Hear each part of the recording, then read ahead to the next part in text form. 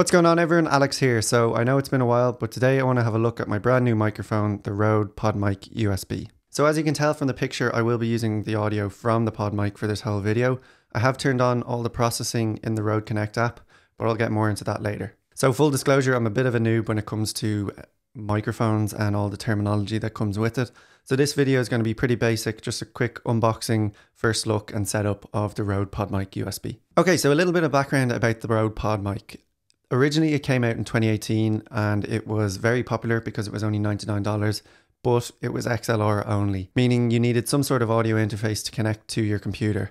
I personally didn't have an audio interface, which is why I never got it, although I really like the look of the original PodMic. Fast forward to today, we have the PodMic USB, which is almost identical to the original one, except for two things.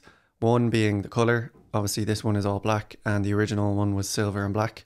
I think they both look great. Probably think this one looks a little bit better, but both are really good microphones, and in my opinion, probably the best looking microphones out there. And then two, obviously, as it's in the name, it has USB C connectivity, so you can just connect this directly to a computer or a smartphone and you're good to go and you can start recording audio. Okay, so let's take a quick look at the unboxing of the Rode PodMic USB. First thing you'll notice is you get this really nice pop filter. So the cool thing about this pop filter is it kind of matches the design of the pod mic, which is one of its selling points. And two, I don't think you can buy this separately. So if you want to have this pop filter, you have to actually buy the PodMic USB. I'm sure that'll change in the future, but really cool that it comes with it and it just helps to reduce plosive sounds and makes the mic sound a little bit better. Ideally, you wouldn't have to use it. I'd like to have the mic looking like it does without the pop filter, but if it makes the sound a bit better, then it's a sacrifice I'm willing to take. Next, we have the USB-C cable. It's a really nice USB-C cable, not too much to say about it, but it seems really durable and it's three meters in length, so it'll work with most setups. Then lastly, we obviously have the mic itself, and I've obviously read online that it's quite a heavy microphone, but I was quite surprised when I actually picked it up myself. It's very beefy. I weighed it and mine weighs 871 grams. Then with the pop filter on, it weighs just over 900 grams. So you do need to keep that in mind when you're picking what kind of stand you want. Obviously, if you have a tabletop stand, you should be fine, but different mic arms mightn't be able to hold the weight.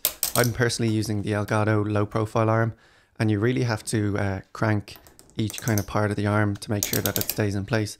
But once you do that, it's fine, but just something to note. Which leads me to the last thing of the unboxing and something that's missing, you'll notice there's no stand. You'll have to get that separately, whether it's a tabletop stand or a boom arm. It's up to you, but you need to get that separately.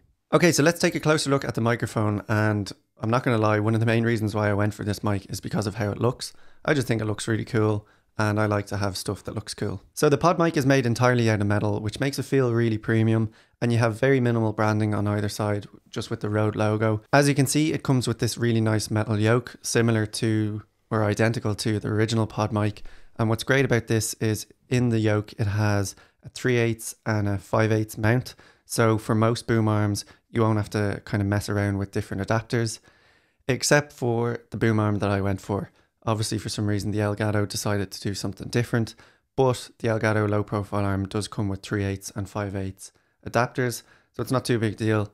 But for the majority of boom arms, you should be okay. Then looking at the back of the mic, you have the obviously the XLR input and the USB input.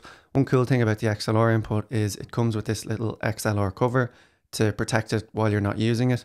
That's great for me because I plan on using USB for the foreseeable future and I can just keep that cover in to keep the XLR input safe. Then you also have an audio in jack which allows you just to monitor your audio in real time with no latency.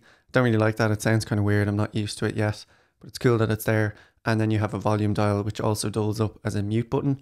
And lastly, you have an LED indicator to show you if the mic is active or not. One thing I find a bit strange is why the volume dial and the LED are on the back because if you're talking into it like I am now and you kind of have to feel around with it, you know, you can kind of disturb the mic by having to feel around for that volume dial. And then obviously if you want to press it, you can't see the LED because it's on the back, so it's a bit strange. The LED is kind of pointless because I don't know whether it's muted or not. Obviously, I can look at my screen and see the Rode Connect app to show me that it's muted, but the LED is kind of pointless on the back. Okay, so a quick talk about the specs. And again, like I said earlier, I'm not an uh, audiophile. I don't really know what I'm talking about when it comes to microphones, but this is what's called a dynamic microphone. And there are two versions of mics.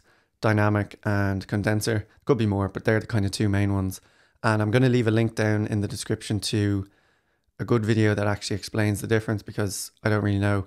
But from what I can tell, a condenser mic is a lot more sensitive, which is why you see them in shock mounts a lot. And they're really good for like a, a professional setup with like treated, that's treated for sound. Whereas a dynamic mic can be a bit more kind of robust. That's why gamers use them and stuff like that and in the radio. So for me, I think it suits me better because this room isn't treated and they just seem to be a bit more robust to use and they look better in my opinion. Okay, so now we're going to jump into the laptop and show you the Rode Connect software, which works really well with the pod mic. It's a free software you can download and basically it's like an audio interface on your laptop. Okay, so now I'm on my laptop here and as you can see, we have the Rode Connect app set up. So just a quick overview of the app from what I can tell. This is the line for the pod mic. As you can see, this green line is my sound waves and this can adjust the volume of the mic. Um, I have it set there just so the sound is in between this line here. I'm guessing that's how it's supposed to work.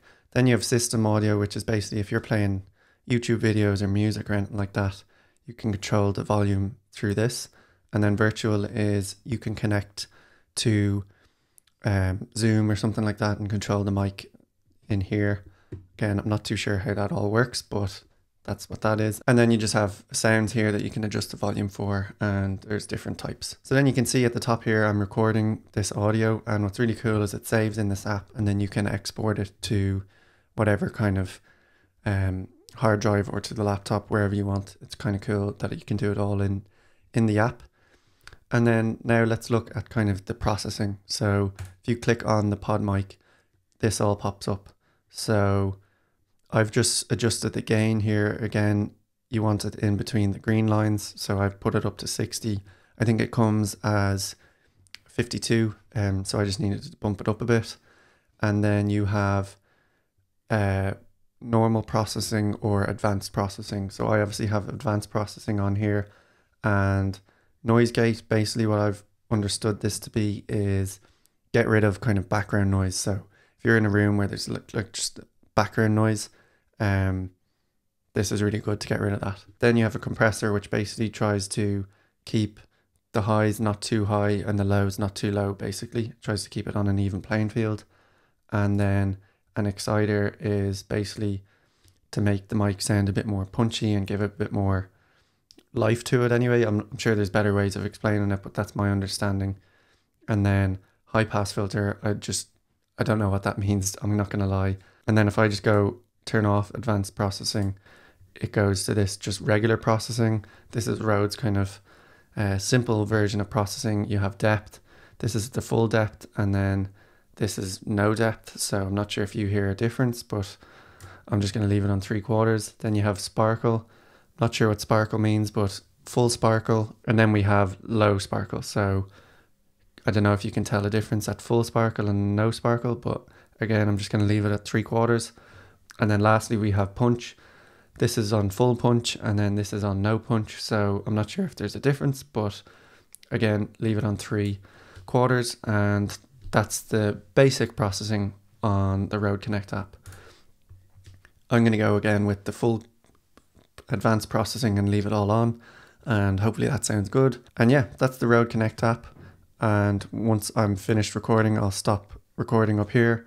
It'll save in the library and I'll be able to use it however I want. So really cool thing and just gives you a lot of functionality for the microphone. Okay, so that's all for this video. I hope you enjoyed it. Um, just a quick unboxing and first look at the Rode Pod mic. I may revisit it in a couple of months and give kind of a proper full review. As I said, I'm very new to microphones and all the different terminology, but that's my first impressions.